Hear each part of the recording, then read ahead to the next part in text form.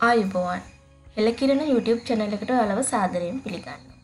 ශිෂ්‍යත්වයට ලියන්න ඉන්න පුංචි දුවලපුතාල වෙනුවෙන්ම වෙන්නුණු හෙළකිරණ ශිෂ්‍යත්වත් වලින් අපි අද කතා කරන්න යන්නේ අපේ රටේ තවත් ජාතික වීරයෙක් ගැන. මේ තමයි අපි කවුරුත් අහලා තියෙන ගොංගාලේ ගොඩබණ්ඩා. එක්දා සටසිය නවේ මාර්තු දහතුන්වනිද. රැලියගොඩ වනවාසලති තමයි මෙතුමා උපත ලබන්නේ. මෙතුමගේ තාත්තගේ නම තමයි වන්සපූර්ණ දේවගේ සිංචියා ෆනෑන්ඩෝ. ඒ වගේම මෙයාට දීනීස් කියලා වැඩිමහල් සහෝදරයකුත් ඉඳලා තියෙනවා.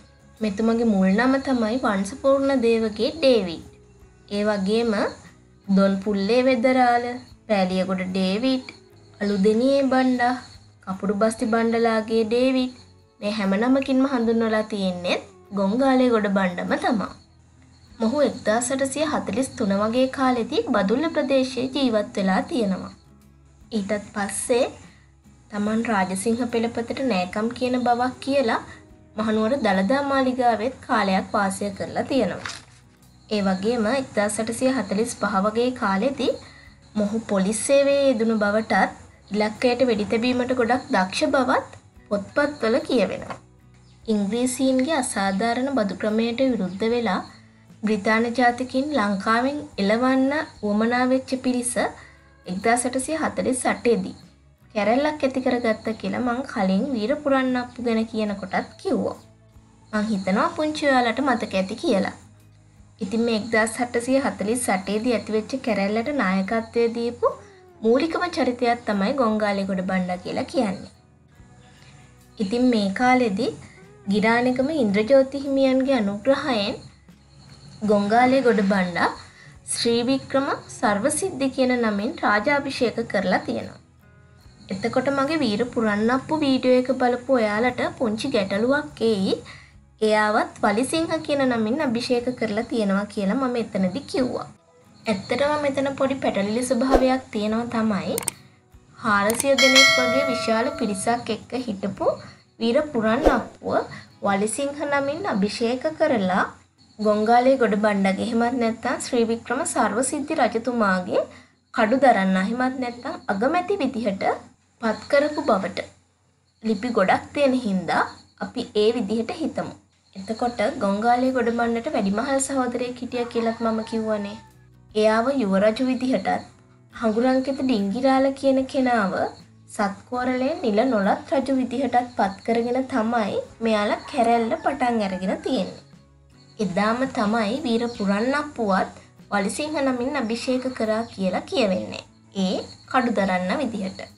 ඉතින් මේ අතරින් හඟුරංකෙත ඩිංගිරාල කුරුණෑගල ප්‍රදේශයෙන් කැරැල්ල පටන් ගන්නකොට අනිත් අය මාතලේ හරහා මහනුවරට එන්න පටන් ගන්නවා. ඒ අතරතුරේදී මාතලේ කච්චේරියට පහර දීලා ඒක තිබ්බ බදු වාර්තාත් විනාශ කරනවා. ඊට පස්සේ මහනුවරට එන අතරමඟදී බ්‍රිතාන්යන්ට අයිති වෙලා තිබ්බ හෙක්ටයාර් හයදාහක් විතර විශාල ඕපිවත්තක් මෙයාල ගිනි තියල විනාශ කරනවා. ඒක්දා සටසිය හතලිස් සටේ ජූලි විසි අටවැනිදා. කපිතාන් ලිලී සහ කපිතාන් වොට්සන් කියන බ්‍රිතාන්‍ය ජාතික හමුදා නායකයින් දෙදෙනා යටතයාපු සේනාංක දෙකක් මෙතනදී සිංහල හමුදාවේ විශාල ප්‍රමාණයක් විනාශ කළා.